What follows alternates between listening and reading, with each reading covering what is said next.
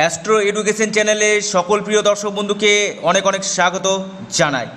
নমস্কার, আমি কৌশিক রায়। আজকে আমি আলোচনা করতে চলেছি মেষ রাশি। এই যে তেইশে সেপ্টেম্বর, রাহু কেতু যে রাশি পরিবর্তন করছে এবং দীর্ঘ আঠেরো মাস এই বিষ রাশিতে রাহু এবং বৃশ্চিক রাশিতে কেতু অবস্থান করবে। তো এর ফল কি হতে চলেছে মেষ রাশির? এবং রাহু কোন দিকে ভালো ফল দিবে? কেতু কোন দিকে কেমন ফল দিবে? তা নিয়েও আমি কিন্তু এই ভিডিওতে বিস্তারিত জানাতে চলেছি। এবং যাদের রাশিচক্রে রাহু খারাপ আছে, তারা কি করবেন সেটাও আমি কিন্তু জানাব।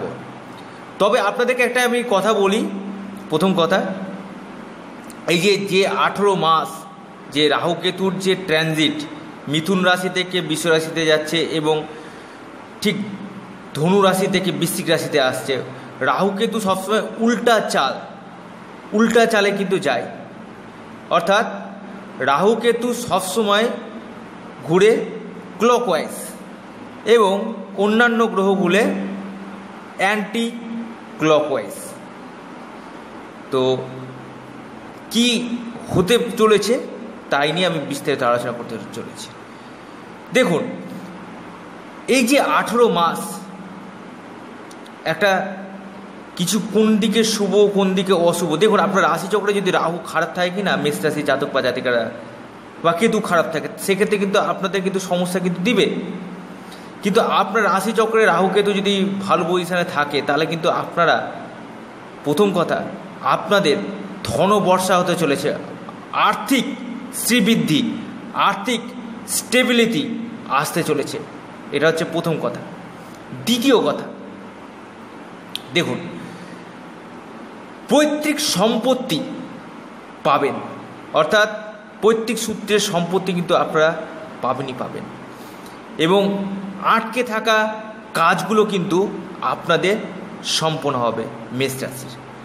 মেষ রাশির কিন্তু এই যে রাহু কেতু ট্রানজিটে দুটারই সমন্বয়ে যে ফলটি, আমি প্রথম বলব, আপনার হেলথের দিকে অবশ্যই নজর রাখুন। এবং এই দেড় বছরের মধ্যে ছোটোখাটো দুর্ঘটনা অ্যাক্সিডেন্ট যোগ ভাড়া, এগুলো কিন্তু সম্ভাবনা আছে। এবং কিছু কিছু ক্ষেত্রে একটা গোপনীয় অসুখ কিন্তু হওয়ারও কিন্তু সম্ভাবনা আছে। এই দিক থেকে অবশ্যই অ্যালার্ট থাকুন।